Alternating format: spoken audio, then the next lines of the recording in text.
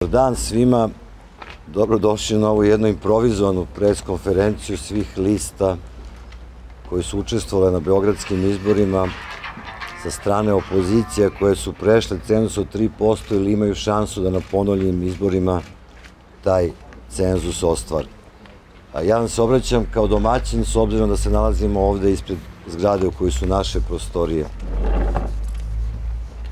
Želim da iskažem u ime liste Ujedinjeni i za pobedu Srbije i pobedu Beograda veliku zahvalnost svim ljudima koji su u toku nedelje bili kontrolori na biračkim mestima širom Srbije, učestvovali u tom izbornom procesu, koji su podneli ogroman teret, pozivani još od četvrtka da odustanu, da samo dođu i da odu. Naravno, jedan deo njih nije izdržao taj pritisak, ali najveći broj njih je taj pritisak izdržao. Ostao ceo dan na biračkim mestima, pola noći se borio kako bi mi ono što su građani Srbije zaista rekli na tim izborima, njihovu izbornu volju sačuvali. Danas ovde govorimo pre svega i na takvom sastanku smo se okupili oko izbora u Beogradu.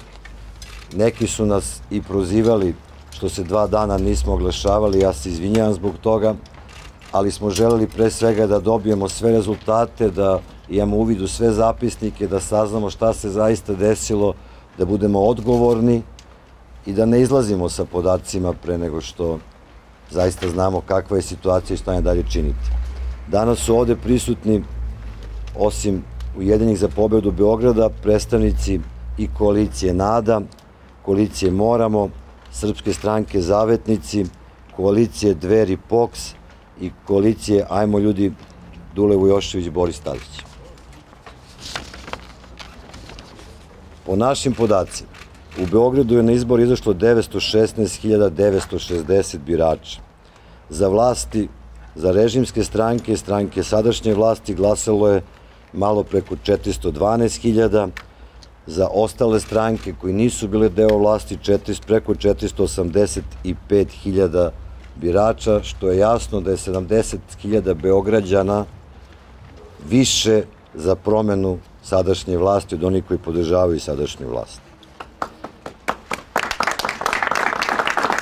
Ovo je, ovo je aplauz, ovo je aplauz i za Beograđane, naravno, tako da možete slobodno svi da se pridržite, nije za mene. A, mi smo prikupili podatke i zapisnike sa svih biračkih mesta uz jednu činjenicu, a to je da po sadašnjim, sadašnjem zakonu se ne upisuju primetbe u sam zapisnik u poseban papir, tek danas od 18 časova će članovi gradske izborne komisije ispred opozicijnih stranaka imati priliku da vide te primetbe. Do danas tu mogućnost nismo imali, nije nam to dozvoljeno. Na osnovu toga ćemo dalje pratiti situaciju, videti na kojim biračkim mestima ćemo podneti prigovore. Zakonski rok je sutra u 20 časova. Neke od naših organizacija su, će takođe danas do 20 časova, kad ističe taj rok, podneti zahtev za prebrojavanje listića, odnosno uvid u džakove na po 5% biračkih mesta koliko svaka organizacija, svaka lista koja učestvovala ima pravo. Od strane Zorana Alimpića, člana GIK-a, smo obavešteni da 135 biračkih mesta još uvek nije uneto one preliminarne rezultate koje je GIK dao. Na njima glasa preko 100.000 ljudi. Nekih 36 nije uneto zato što predsednici opštinskih izbornih komisija nisu doneli zapisnike u gradsku izbornu komisiju, a 99 ima veće ili manje povrede glasačkog procesa, prema procenama Alimpićevim, preko 20, oko 20% će sasvim sigurno biti ponovljeno i bez ikakvih primjedbi od strane, odnosno prigovora od strane opozicijonih lista. Ono što je dala gradska izborna komisija i njegovi procene mandata se zasniva znači, na tih 88,6% unetih zapisnika u statističke te podatke. Mi smo prikupili sve zapisnike kada bi, kada ne bi bilo nikakvog ponavljanja izbora, kada bi sve bilo idealno, odnos vlasti i opozicije po broju mandata u parlamentu gradskom bili 55-55. Naravno, s obzirom da će se na nekim mestima ponavljati, taj odnos može da se promeni, taj odnos ukoliko Beograđani ne budu izašli u istom broju kao prošli put na izbore, može ode u korist vlasti, ali taj odnos, ukoliko oni svi izađu, može da bude potpuno u korist opozicije. Lista Ajmo ljudi je na ovim mestima uzela 2,80% glasova i falio samo 0,2% da pređe cenzus. U slučaju da ova lista pređe cenzus, dobija tri mandata, dva mandata na račun SNS-a, jedan mandat na račun liste Ujedinjeni za pobedu Beograda, što znači da bi odnos u gradskom parlamentu bio ili 56-54 u korist opozicije ili 57-53. Zašto je to moguće? Zbog toga što i ovi sadašnji brojevi su takvi da za svega 0,2% glasova SNS ima jednog odbornika više. Što znači da kada bi liste Moramo ili Ujedinjeni za pobedu Beograda imale 0,2% više, jedna od tih lista bi imala još jedan mandat. To ću da vam kažem da su to tako male razlike i da realno postoji ogromna mogućnost da posle ponovljenih izbora na biračkim mestima gde je bilo nepravilnosti, dođemo u situaciju da se volja Beograđana zaista poštuje. Što se tiče naše liste, mi ćemo naravno, ja pozivam sve Beograđane koji će imati mogućnost ponovo glasaju, koji su stajali satima i satima u redovima da bi glasali, neka biračka mesta zatvorena tek oko 22 časa, to ponovo urade. Mi ćemo naše birače pozvati da glasaju za opoziciju i za poštovanje volje građana Beograda, a to je da dođe do promene vlasti, da pomognemo našim kolegama da i oni uđu u gradski parlament i da onda zajedno vodimo ovaj grad na drugačiji način nego do sada. Hvala, ja bih sad zamolio predstavnike svih ostalih lista da se obrate.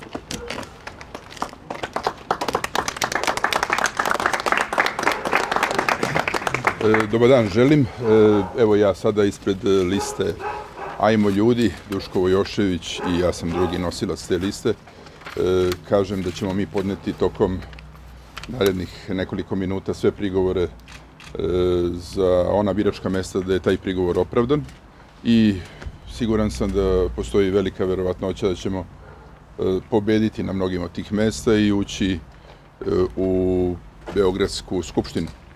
Nakon toga biće jasno otvorena mogućnost da se formira gradska vlada, sadašnje opozicije i lista Ajmo ljudi i ovog trenutka svedoči o tome da ćemo mi tu vladu formirati samo sa opozicijom, a nikako sa predstavnicima napredne stranke.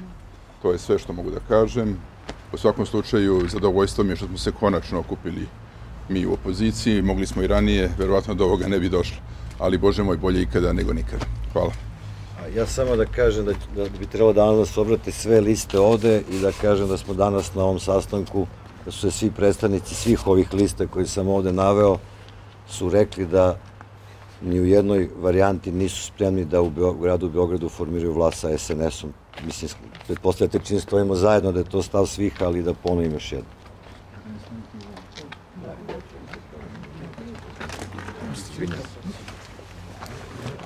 Zdravo živo svima.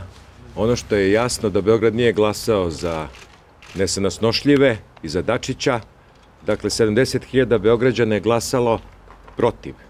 I ono što je takođe jasno, da u ovom trenutku Vučić nema većinu i pored toga što nisu prebrojani svi glasovi, a tek nam sledi prebrojavanje i tek nam sledi ponovno izjašnjavanje na mestima gde je došlo do krađe.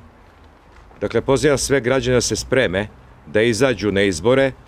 Večeras ćemo znati ili u toku sutrašnjeg dana tačno na kojim mestima su krali. Znamo da jesu, već imamo dokaze. Tako da slede nam dopunski izbori za Beograd koji više nikad neće biti na, u rukama SNS-a. Toliko, hvala.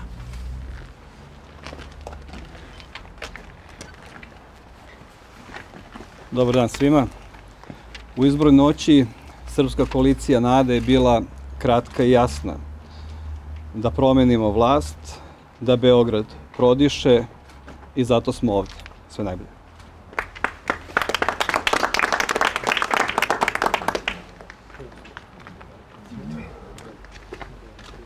Dobar dan svima.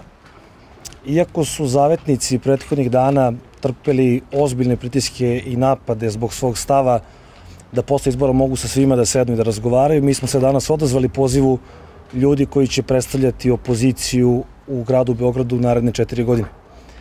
Nedvosmisleno smo izrekli svoj stav da smo spremni da u skladu sa svojim mogućnostima i u skladu sa zakonom branimo svaki glas koji je osvojila opozicija u gradu Beogradu.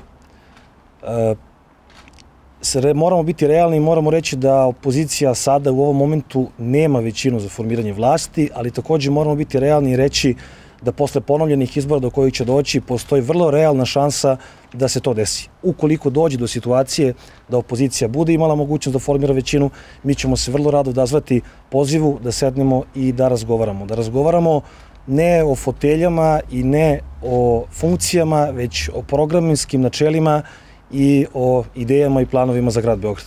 Hvala.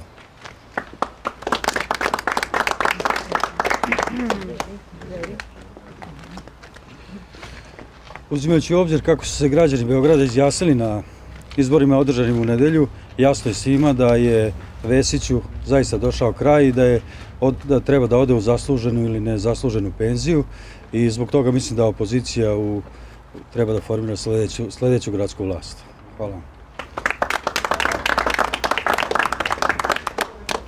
Ne, može bilo ko od vas, samo s obzirom na to da ste rekli da sada e, nemate većinu, ali da postoji mogućnost nakon e, ponovljenih izbora. Da li ovaj sastanak znači da ste se vi dogovorili da ćete zasigurno e, pokušati da formirate gradsku vlast nakon ponovljenih izbora ili ćete tek o tome pregovarati? Pa mislim da su kolege bile vrlo jasne i ja moram da kažem da vrlo poštujem stavove svi koji su ovde izneli, da naravno ukoliko kada se završe ponovljeni izbori opozicija ima većinu u gradskoj skupštini, tad ćemo sesti i razgovarati o načinu na koji bi mogli da formiramo vlast i da vidimo koji su nam planovi, koji su programske stvari, da li ćemo se dogovarati o nekom roku i o možda nekim u nekom trenutku nekim novim izborima, znači sve su to stvari koje su otvorene. Mislim da je jasno da svi koji su danas ovde su spremni da o tome razgovaraju, da postoji želja da se poštuje volja građana Beograda, a to je da se promeni vlast u Beogradu.